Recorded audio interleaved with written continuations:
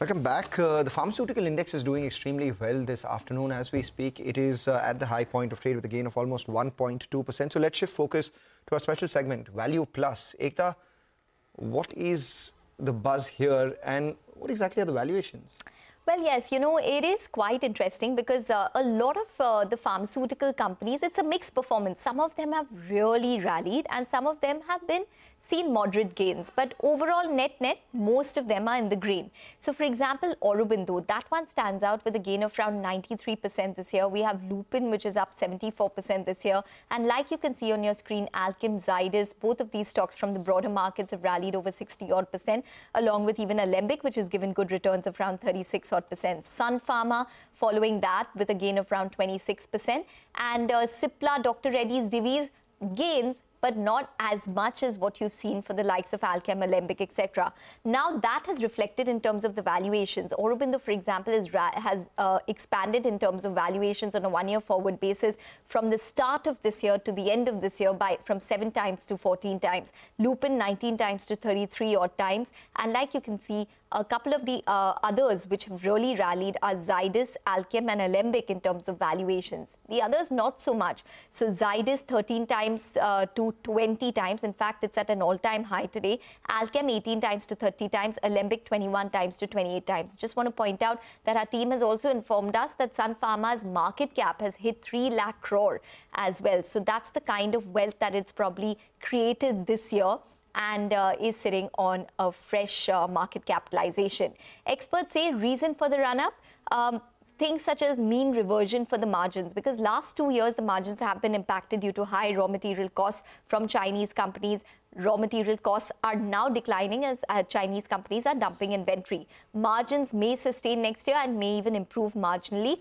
Valuations, remember, like I said, Mangalam, is a lot about stocks and their portfolio of drugs. All right, so that's about, uh, you know, the sector on the whole, but there are a bunch of stocks which are in focus as well. What's the news behind them? Well, uh, Zydus, I'll start with one, that one. It's received US FDA approval to initiate phase two clinical trials of a particular drug that they're st studying for Parkinson's. Uh, so phase two will evaluate the safety of the drug, whether it can be tolerated by patients. And this is important because the US FDA has given approval to them. So it's a tough regulator to get approval from. US FDA not for uh, a drug which is also used to treat seizures. That's what Zydus has got. It will be manufactured at the Moraiya plant, sales of around $250 million.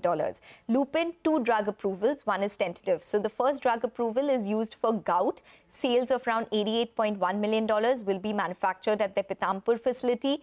Tentative nod for sitagliptin tablets, which is basically for uh, cholesterol and, uh, you know, blood pressure, etc. Manufactured at Pithampur, sales of $5 billion used for, um, you know, uh, NCDs, basically type 2 diabetes, etc. So important drug approval for them. And the spate of drug approvals have been extremely strong and consistent for Lupin, especially post solving all of their US FDA issues. Now, I uh, just want to point out that there have been two brokerage notes which have come out as well. So one is on IIFL and the other one is on Sun Pharma. Um, with regards to IIFL, uh, you know, the, the, uh, the brokerage note is quite positive where, uh, or rather I'll start with Sun because that's the bigger company. There's an outperform with a target price of 1208 rupees. Uh, Bernstein says that Sun's psoriasis drug, which is basically marketed as Ilumya in the US, is included in China's national reimbursement drug list. This happened a couple of days ago. It's incrementally positive news. It opens up another large psoriasis market for them. It can extend Ilumya's growth runway, according to them. Remember that the psoriasis market is around 4.8 billion dollars at this point in time, and they expect it to probably increase even further. There's a positive note which has come in on IIFL, where on Laurus Labs, where IIFL hosted the management in London. They say that FY24 was a challenging year, but there are near-term growth drivers that they're bullish on. All right, that's a lot of pharma. what I'll do is I'll just, um, you know,